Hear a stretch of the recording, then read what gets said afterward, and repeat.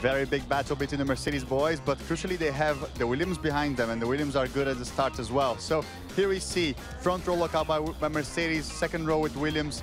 Well, this is what I think can happen. On the outside, the group is a bit better.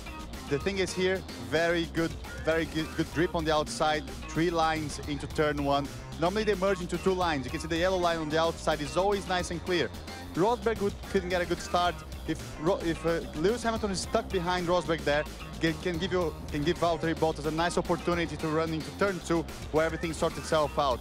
You cannot run side by side between on turn two and into the turn three, four, five. All this conflict is only single file. So if Lewis loses the, the position there or cannot get Rosberg on the start, it can be a very difficult race for him.